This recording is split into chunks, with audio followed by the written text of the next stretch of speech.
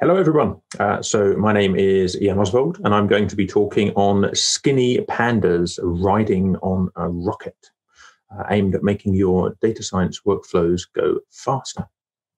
So, today's goal well, many of you will be working on pandas. So, we're going to look at getting more into RAM so that we can have more data in pandas before using other tools, figuring out why some of this is slow, and figuring out ways to make it go faster. When we need to go beyond pandas, then we'll look at a couple of new tools. So Dask, which will let us work on larger data sets uh, and work in a multi-core scenario. We'll look briefly at SQLite, which I think is an under-recognized and under-utilized tool for SQL collaboration uh, which enables uh, very large files. Uh, and then we'll finish off by looking at Vaex, uh, a new competitor uh, against uh, Pandas and Dask, um, which I think enables new workflows, which could be really interesting to some of you, particularly if you're working on very large data sets or you're a bit frustrated by Pandas being slow and you're working on one machine. to do all of this, we'll be looking at the uh, UK land registry data sets. That's house purchases and house prices. Uh, it's 25 million rows. So, introductions. Uh, my name is Ian Ozsvald. I'm an interim chief data scientist. So, I go into companies, many of the big brands that you'll recognize, and many smaller companies as well, and help them uh, when when they could do with finding out uh, all the mistakes that someone who's been doing this for 20 years may have made so that they don't have to make those same mistakes for themselves. Uh, making new mistakes is fun, repeating the old mistakes kind of boring. Uh, so I go and help teams with strategic planning and also going to write intellectual property so that teams write the right code and get their products delivered. So I've been doing this for two decades, uh, uh, a lot of the time in the uh, Python ecosystem. Uh, and in the last several years, I've been working more on building up uh, public courses, particularly one around high performance computing. The first time I presented this actually was at EuroPython in 2011 that turned into my high performance Python book, co written with Micha Gorelick. You can see a, a screenshot of the cover on the right hand side. and earlier this year, we published the second edition of that. And look at that, it's over 400 pages of meaty goodness about high performance computing, all in Python. Uh, and uh, some of the material that I'll be covering in this, uh, this talk today comes from my course uh, and uh, a little bit from the book. I'm also one of the co-founders of the PyData London meetup. Um, we've got over 180 groups around the world. Uh, you probably know something about PyData, given that you're attending PyData Global. Welcome along. Um, I'm super proud of the fact that PyData London is one of the largest, I think still the largest of the meetups on the planet. Um, and uh, you're super welcome to come and join our community wherever you are in the world. Uh, on that note, um, I've been volunteering with uh, PyData for over seven years. We've run an annual conference that's turned into PyData Global this year. It keeps raising money for the open source community. I'm sure you'll be hearing about that during the course of the conference. Remember that all of us presenting and all of the organizers are volunteers. We're volunteering our time to make the open source world better. So as and when you meet people online, particularly the authors whose talks you like uh, and the other volunteer organizers, say thank you, make the world a better place and go and say thank you. Uh, I'll give you a little caveat. Uh, we're dealing with some benchmarking in this talk. And of course, all benchmarks are wrong. In fact, benchmarks typically are lies and they can distort the truth. So I've tried to make sure that none of the points I raise here are completely comparable. Um, because I think that will be an unfair comparison. I'm not trying to set out to show that one library is better than another. I'm just trying to show some of the differences and strengths of some of the libraries here. Your libraries, your operating system, uh, the versions of tools that you've got, and your data uh, will change the results from what we see here. So, of course, you need to do your own experiments. Don't take anything here as being the golden truth. Take it as a guide to help uh, guide you on the decisions you want to make. So, We'll start with pandas. So pandas, uh, a little bit of background. Uh, well, pandas, uh, it's a venerable tool. It's been around for a while. It grew out of NumPy. Uh, I think the first release uh, noted on the right, taken from Wikipedia, was around 2008. So it's 12 years old. So many design decisions have been taken over the course of that time from when pandas and Python um, was much younger in the data science game. And now, over a decade later, we're in a bit of a different world. Uh, back then, it made sense to load all of the data into RAM. So Pandas represents everything in RAM. So you have to have enough RAM uh, in your machine to represent it. Uh, and operations can be quite expensive, creating temporaries. Um, and it's not unusual to realize that uh, even uh, with an initial data set, you need several times uh, the RAM available to do any operations for temporaries whilst you're working on your data set, which means you need quite a lot of RAM even for relatively small data sets now. It's got a very rich API. It's pretty wide as well, so you can do lots of things: time series resampling, text-based analytics. You can handle all sorts of data types. You can join and merge like an SQL database. You can do a lot of things in there, uh, which means it's complicated. There's lots of time series tooling, which uh, is important to a lot of people. Um, it's a well-respected project. It's got a lot of uh, followers on GitHub. It's got a lot of contributions. It's got a lot of issues filed, a lot of forks. It's got a, a lot of popularity behind it and a lot of core contributors. Let's have a brief look at some of the data that we'll be using in here for some of these comparisons. So this is a, a tiny snippet from the UK Land Registry dataset. It's an open data dataset. 25 million rows with lots of text columns and also numbers and dates, uh, which represent uh, when house prices, uh, when the sale of a house uh, uh, was completed. And so we get details about it, including the price, the location, um, uh, and uh, the date. Uh, and so it's a, it's a pretty good mixed, uh, interesting data set showing real world trends. We'll summarize some of those trends. Um, the original data set was four gigabytes of CSV. That takes a good few minutes to load into Pandas. I saved out as a pickled file. That's very quick. It takes seconds to export that and import it in.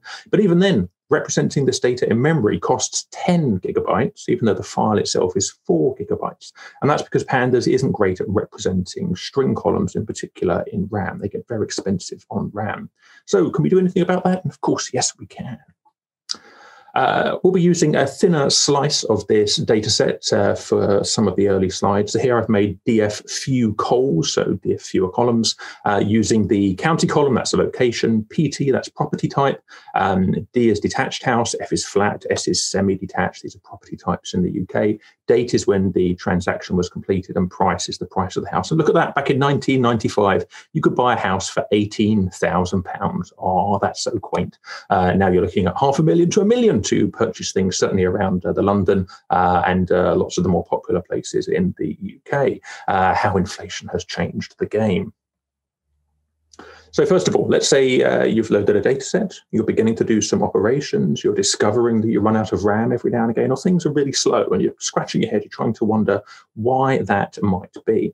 So you use uh, the .info function, which tells us about the, uh, the size of the data set, uh, the columns, the data types behind the columns. You can see on the left-hand side, dfucols.info. It says we've got 25 million items in our range index. Great, so we've got 25 million rows. Uh, we've got a, a county, a PT, a date, and a price, two object columns, a date time 64 and an int 64. Well, the date time 64, that's an 8 byte object, and int 64, that's an 8 byte object. So we know exactly how big that After 8 bytes times 25 billion rows, we can calculate the memory hit for that. The objects, on the other hand, we can't trivially find out how expensive they are in terms of RAM. And so Pandas reports, well, 777 plus megabytes. It's an estimate. That plus means it's an estimate. It's an underestimate. If we use dfucols.info memory usage equals deep, which you can see on the right hand side, you'll see the true memory usage is 3.4 gigabytes. What's happening here is Pandas goes through every row for every item in that column and says, exactly how big are you? You each individual string, one at a time counts up the individual cost. It takes a good few seconds, uh, and that gives us the true estimate back. So, what's a true uh, measure of RAM usage rather than the underestimate that we started with. 3.4 gigabytes just to get the data into memory before we do anything else at all. Um, just for this thin data set, this is not the wider data set that I started with, of course, that was 10 gigabytes. So what can we do about that? Well, uh, Pandas introduced the categorical data types, and historically we've had other thinner representations of our data with uh, numeric columns. So let's use two of those. So uh, I'm going to make a df slimmer cols, so a slimmer set of columns. I'm going to take my df cols county and turn it into as type category. I do the same for PT and for date. Uh, for price, I'm not turning that into a category. I'm turning that into an int 32. It started out life as an int 64. So it started with eight bytes. By going to an int 32, it goes down to four bytes. For the other three uh, items there, uh, county, PT, and date, we're turning them into categoricals. You can access all of the same operations underneath. So with a categorical date, you can still do .dt, uh, dot year, for example, to get out the year but as we'll see, it uses a, much less RAM. So by creating this df slimmer calls, and if I do, uh, I call it the memory usage, I can see now the memory usage is 219 megabytes. So contrast that with 3.4 gigabytes that we had a moment ago.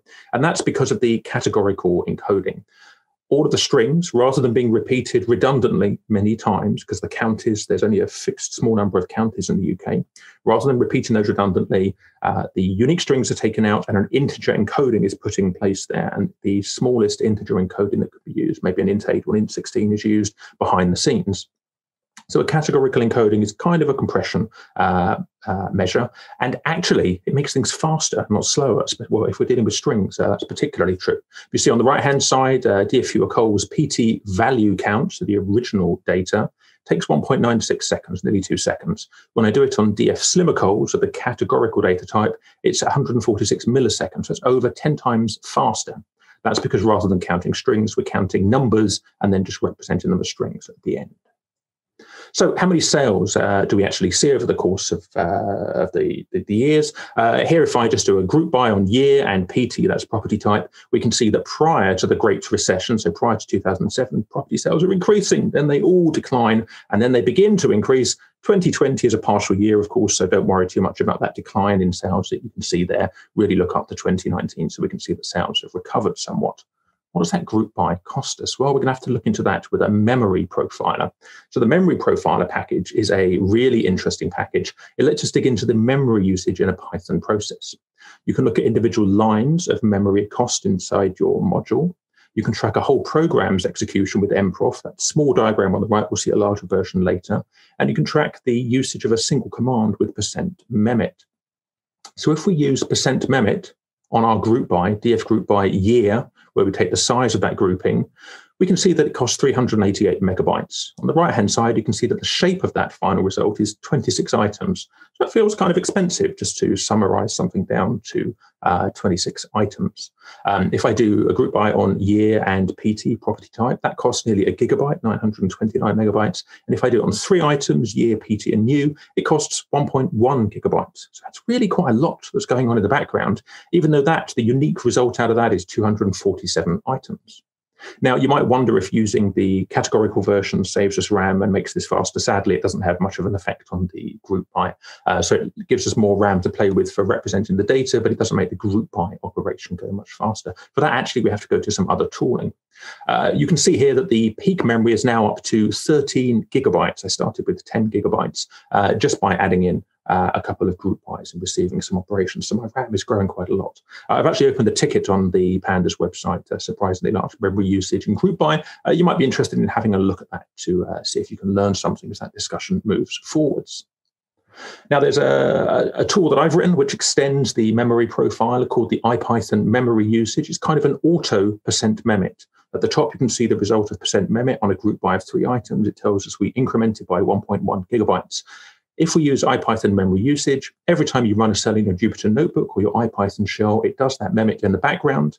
And so it reports how long the operation took and what the peak memory usage was whilst it ran and what the current usage is. You may find that a useful tool. If you want your operations to go faster, then there's a couple of uh, numeric tools that you might introduce. One is bottleneck. This gives us free speed ups on math in pandas and it doesn't get installed by default. You have to install it by hand. I'm always checking whenever I make a new environment, do I have bottleneck? Oh no, I don't. I better go and install it. If I use pd.options.computes.use bottleneck false, which turns off bottleneck, so I've got it installed and I'm disabling it, I take a float 64 column. I've turned price into a float 64. So I've got a float 64 floating point number. I take the mean, 137 milliseconds. If I then turn bottleneck's use back on, and it's on by default if you've got it installed, but here I've turned it off, so I turn it back on again. Now that same operation costs 55 milliseconds. That's uh, two to three times speed up just by in, uh, installing a free library that has no downsides. So install bottleneck and also uh, install NumExpr. That can make some of your queries and eval operations go faster. If you know that you've got numeric data and that you're using NumPy in the background, it's a bit more of an advanced tip here. If you know that you're using NumPy's representation, so lowercase int64, lowercase float 64, you can use, uh, you can drop down to the NumPy representations and use the NumPy functions. If you know that you don't have NaN data in your column, so no, not a numbers, you can call to NumPy take the mean, 16 milliseconds, as opposed to taking the original Price F64 column, taking the mean in pandas, 55 milliseconds with bottleneck. That's because the pandas version is checking for NaN, so checking for not a numbers, which uh, might distort the results. The NumPy version of mean there isn't doing that check, so it goes faster. So it's a bit more of an advanced tip. I've got uh, more on that in my PyData Amsterdam 2020 talk, which is on my blog if you're interested. So here's a couple of tips. Use categoricals uh, for speeding up uh, your operations and also to save RAM. It doesn't work across the board, but generally they just work and they just give you a free speed up. But certainly they free uh, free up a bunch of RAM so you can get more data into RAM. If possible, go from the default float 64 and int 64 columns down to int 32 and float 32. Your operations may perform faster. Floats certainly tend to go a bit faster with float 32, but they'll use half the RAM and that will let you get more data into RAM before using other tools. Install uh, Bottleneck and NumExpr. They're just pip installs away. Uh, they give you free speed ups in pandas. Uh, but also be aware that we can only take this so far. To scale, we really need to go for some newer tools. So, what about Dask? So, Dask is a rich library. Li- uh, Dask is a rich library wrapping uh, data frames and arrays and arbitrary Python functions. So you can wrap up uh, pandas data frame like operations, NumPy array like operations, or just regular Pythonic code with no scientific work in the background at all. It's actually a very powerful and quite complex uh, tool. Um, most people know that it's there for speeding up pandas data frames. Uh, it actually wraps up pandas data frames. It doesn't re-implement them. It actually provides a wrapper around a regular pandas data frame. So you chunk up your uh, your data, your large data frame into small chunks of data frames, and each of those become a Dask distributed data frame. You can see in the diagram, we've got a set of collections. We've got arrays. That's the NumPy array for uh, larger than RAM arrays. The data frame for pandas data frames, bags, the data futures. There's even a machine learning component. Behind the scenes, we get a task graph of decomposed tasks. And then these can be run on different types of schedule. There's a single machine or a distributed scheduler. It's a very rich and complex ecosystem. It's not just about data frames. That's the, one of the take homes. Dask is not just about data frames. When would you use it? Well, if you've got data that's bigger than RAM, of course, you need to use something like this to be able to process your data. If you want to use all of your cores and you have CPU bound functions operating on your data frames, or you're doing NumPy array work, which is CPU bound, then Dask is a brilliant idea. If your data fits into RAM, but you find that some of your operations cause it to run out of RAM and you can't just compress using the techniques we used earlier, then maybe Dask will give you a solution as well. Generally, behind the scenes, you'll be using Parquet data files. So these are columnar data uh, data files where we store uh, snippets of our data, so blocks of our pandas data in, in row blocks uh, by columns, where each column can be compressed, and we can load in columns independently, reducing the amount of data that we load. Uh, Dask works with CSV files and with lots of other numeric formats, but Parquet is kind of where the sweet spot is most of the time. There are dashboards uh, inside Dask that give us rich diagnostics. You can see one of the task stream diagnostics on the right hand side, and it lets you write pandas like code.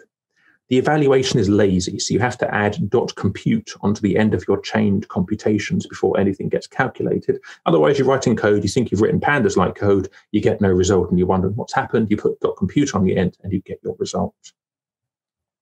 So let's uh, let's take a common uh, pandas operation, so taking a time series and resampling it. Here I've already prepared my data. I've read in my CSV file with Dask and I've written out 100 Parquet partitions. You can do that in a couple of lines uh, in Dask very easily.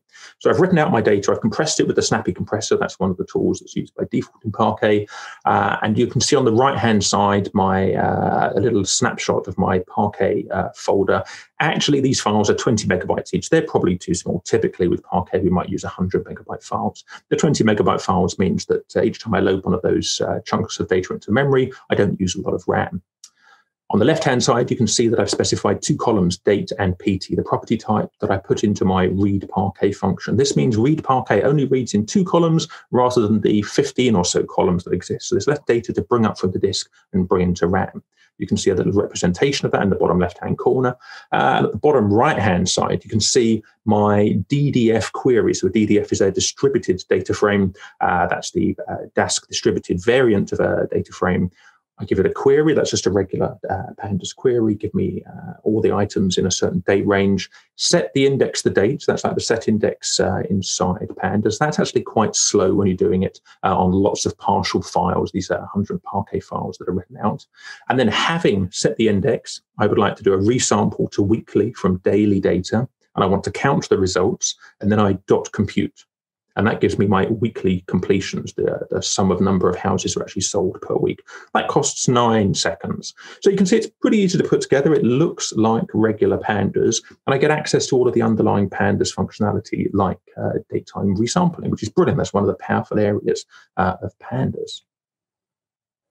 Now, what's happening in the background? Well, we can use the memory profiler again in a different way with the mprof tool. This we use at the command line. You can see at the bottom of the screen there, mprof run, uh, track multi-process and uh, include the children. Dask spawns out children, child processes. If you only include the parent process, you'd only see a, a tiny snapshot of the RAM being used. You wouldn't see the workers in the background. Here we can see the workers as well. So uh, the uh, the green and the red line that are bobbling at around 200 to 400 megabytes. That's the two children processes that I've spawned off, reading in a Parquet file, doing a bit of work, uh, doing a group by in this case, and then dropping that Parquet file and reading in the next one and repeating and repeating and repeating until they've done all of their partial pieces of work and they communicate the result back. The black line at the top is the aggregate RAM usage for all of the children processes. And we can see that in total, this Dask operation is costing 1.2 gigabyte way less than the 10 gigabyte that we had with the Pandas version earlier on. So this takes two processes, uh, 1.2 gigabytes. Um, and in fairness, here I'm actually loading in all of the data rather than just a couple of columns, just to try to amplify the memory usage. The actual memory usage, if you optimize how you write this code, is much less in this particular case. If I change this and go for 16 processes, then we can see now I'm up to six gigabytes of total RAM usage. And rather than being 45 seconds to execute, I'm down to about 25 seconds. Uh, so it's still, it's, it's not super quick, um, but it's still pretty quick. It's not as quick as it could be because I'm loading in too much data and I could further optimize this and simplify the process, um, which is one of the nice things uh, with Dask. I've got uh, a lot of control over what I read in and what I process and what I do with it. But the take home here is at the beginning, we started with pandas with 10 gigabytes plus before we did any operations. Now doing the same operations on the same same data, I'm maxing out at six gigabytes uh, and uh, getting a pretty good uh, speed uh, out of my operation. On the right hand side, you can see the task list uh, from the Dask dashboard for this particular operation. Uh, because here I've asked, well, in two years, how many completions do I get resampled to a weekly basis? Because, you know, hey, there'll be some time series dynamics behind this. Well, it turns out over those two years, we can see an interesting trend. Every year, sales start lower in the year, and then over the course of the year, they get higher. Then at Christmas, they drop back, and then they start climbing again. And so we see this kind of strange sawtooth pattern going on over the course of each year. You could imagine having not 25 billion records, but hundreds of millions of records. And the same process would work with the same brand footprint. It would just take longer to execute. So here's some Dask tips. You want to keep it simple, and I promise you, you really want to keep it simple when you start out. There's lots of moving parts. The documentation is very good. A couple of years ago, the docs weren't so good. Now the docs are very good, but you do want to keep it simple. It's easy to start running before you can walk, trip up, and then you hurt yourself and you cry because it's not obvious what's going on because there are many moving parts in Dask. Start with fewer processes. You can control this when you make up a local cluster fewer processes with lots of RAM in there, and then reduce the RAM and increase the number of processes uh, and change your Parquet partition sizes when you get an idea as to how your competition, computation is performing. Always remember to call dot compute. If possible, take your distributed data frame and call sample and ask for, say, 1% of the data. This means only 1% is flowing through the entire process. So rather than waiting 30 seconds for a result, you might wait just a couple of seconds. You can interactively debug a heck of a lot easier that way. And remember that Dask is not just about data frames. It also wraps up distributed arrays for NumPy-like operations, a bag, which is a, um, it's kind of a combination of a set and a list in pure Python, delayed functions, and lots more. So SQLite uh, is an underused and I think underrated tool. SQLite is a single file SQL database solution. It's not specific to Python. It's been around for 20 years. It's got over 2 million tests.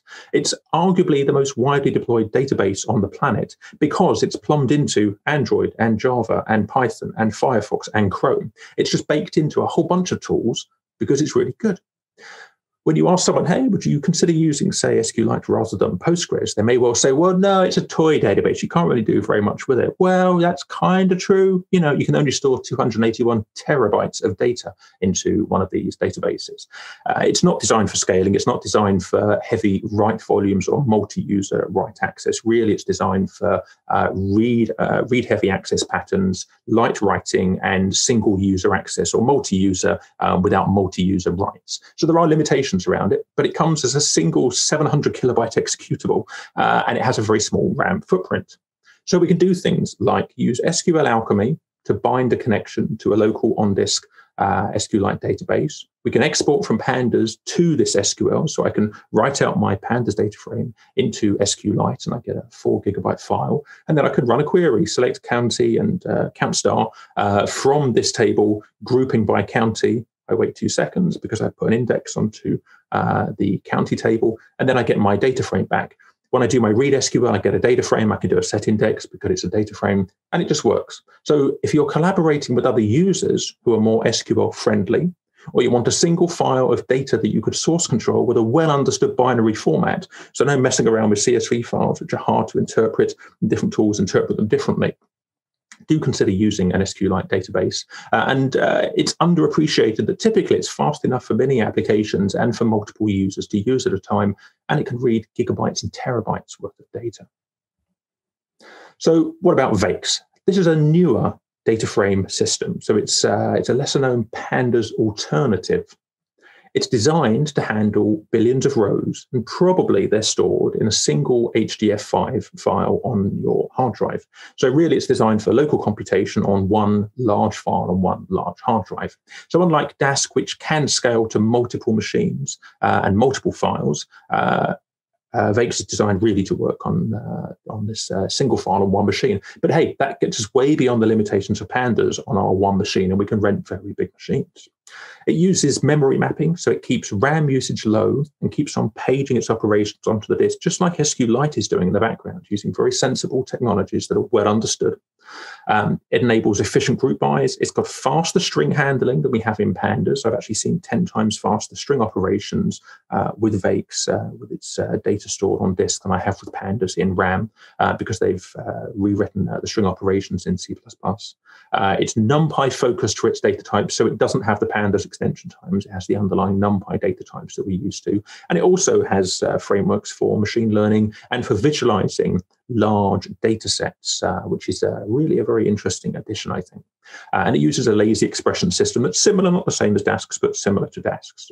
It does have fewer users uh, and fewer, uh, smaller activity on GitHub. The core developers are very focused, but it's a younger, smaller project. Um, so go there, remembering that it's not Pandas and it's not Dask. it's something that's very similar um, with different performance characteristics. So typically we convert our data from a CSV file to HDF5 files. That's pretty easy. There's a couple of built-in functions to do it. It took me five minutes. Once you've converted it, opening the file is instant. It uses memory mapping, so there's nothing to read when you open it. And then you run queries and they run in the background multi-core. It actually just works. It's it, I found it actually a bit easier to get started once I got my head around it uh, with Vaex than with uh, with Dask uh, for a, a single large file on one machine. And the results that you get look like pandas data frames. The operations look like pandas operations, but they're not. So you can see at the top here on the left-hand side, I've opened a VDF. I've called it a VDF just to differentiate it from the DDF from Dask and the DF from Pandas. So the VDF is a Vaex DF here. Here in my example, I've opened a file. to give it a file name. It opens up the HDF5 file that we created before. You can see that I pull out the day of week from vdf.date. We've got the familiar DT accessor. And then I do a group by on day of week. And here you pass in the aggregation as an argument. So it looks like pandas, but it's not quite the same way the pandas does it. Uh, and then I sort the item that comes out the other side. If I ask for its type, I'm told that it's a data frame arrays object, so it's clearly not a pandas uh, pandas data frame. I can convert this to a pandas data frame. Vaex allows that, um, but here I got the Vaex uh, Vaex version of their data frames. On the right hand side, we can see the output of that. So what does it mean to have uh, completions counted by day of week? Well, it turns out in the UK housing market, most of the time when you actually complete and buy a house, it's meant to occur during the work, working week, any time during the working week. Typically, it works out that it completes on a Friday. Everything gets pushed to the Friday in the hope that you can move on a Saturday. And you can see there's even a couple of completions that happen on Saturdays and Sundays for those unlucky few. Uh, it's a strange distortion and dynamic in the UK market. Bottom right corner, I've done a percent time on the VDF group by on day of week, and it took uh, under one and a half seconds to do that operation. It's one and a half seconds. And the thing to remember is if I use mprof to look at the RAM usage of the operation and any of these operations, rather than loading in 10 gigabytes worth of data, or as we saw with Dask, um, several gigabytes uh, through to say 20, 30 gigabytes, here the operations typically are pinned under a gigabyte in RAM. So its RAM usage is much lower. Not as low as SQLite, that tends to stick at around 90 megabytes, so hardly anything at all, trading off uh, less speed for lower RAM usage. Here, Vaex trades off um, trades off some speed uh, and has more data in RAM. And that's kind of like the, the size of the group by that I had in Pandas originally, but just the Pandas uh, group by operation, not all of the data stored into RAM originally. Here, all that data doesn't end up stored in RAM because it's kept on disk. Uh, so a bunch of these operations that you'd normally do in Pandas when they're in RAM actually occur at a similar speed, if not faster. So string operations are much faster with Vaex than they are currently in Pandas, uh, which I think is really interesting. So when might you use these? Well, Dask is multi-core and multi-machine and multi-file friendly. Vaex tends to work with uh, multi-core on a single machine, typically with a single file. Dask allows most of pandas and supports uh, huge NumPy arrays and bags and others. Um, both can handle billions of rows and they can do machine learning and both have readable code. So if you have to go and diagnose the code, both have very readable code.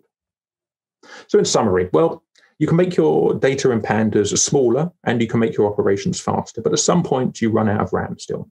Then maybe if you want the core pandas functionality, and that's what you're most used to, maybe you want to stick with Dask because that gives you access to all of the pandas underlying features.